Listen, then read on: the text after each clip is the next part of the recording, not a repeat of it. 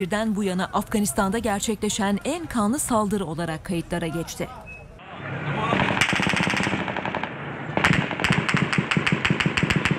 Kabil Havalimanı etrafından gelen görüntülerde ülkeden ayrılmak için toplanan kalabalığın bulunduğu yerden havaya ateş açıldığı görülüyor. Ateşin kim tarafından açıldığı ise bilinmiyor.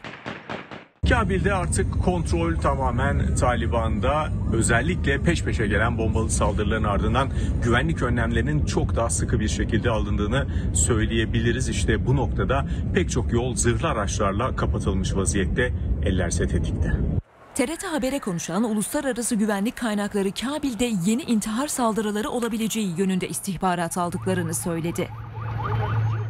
Amerika Birleşik Devletleri Başkanı Joe Biden da komutanlarla yaptığı toplantı sonrası açıklama yaptı. Sahadaki durumun son derece tehlikeli olmaya devam ettiğini söyledi. Biden, komutanlarımıza göre önümüzdeki 26-36 saat içinde Kabil Havalimanı'na yeni bir saldırı olasılığı yüksek ifadesini kullandı.